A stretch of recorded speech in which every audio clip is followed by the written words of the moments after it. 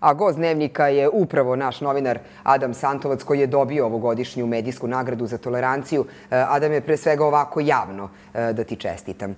E, ti radiš priloge u kojima je u fokusu, kako se to u medijima kaže, običan čovek. Ti izveštavaš o ljudskim pravima, o zaštiti životne sredine. Zašto je to važno?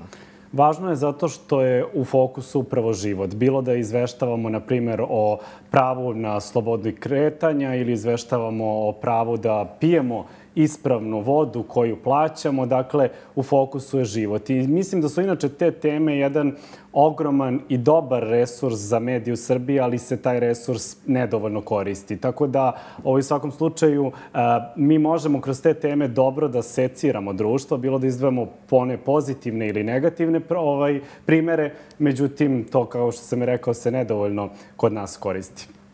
Eh, Ademe, da li misliš da se o tom grubom kršenju ljudskih prava, tu pre svega mislim na nasilje, eh, govori kontinuirano ili ipak je to kampanjski, odnosno samo kada se neka, neki takav slučaj desi? Uglavnom je to senzacionalistički pristup. Imali smo danas takođe priliku da čujemo i na ovoj regionalnoj konferenciji da se dosta u poslednje vreme izveštava, na primjer, o nasilju u porodici ili o nasilju nad ženama. Međutim, uglavnom se to svodi na senzaciju i nijedan od tih primjera zapravo ne odgovara nekim pravilima medijske etike. E, e, izveštavanje o ovim temama ti si dobio četiri nagrade od kako si e, novinar N1 televizije. Kako ti tumačiš te nagrade?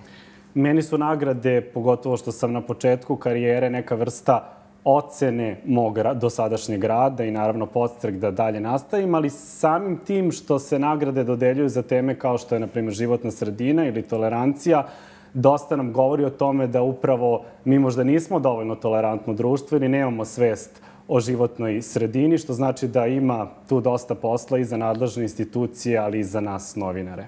Adame, hvala ti što si govorio za dnevnik i hvala ti što si doneo nagrade našoj kući.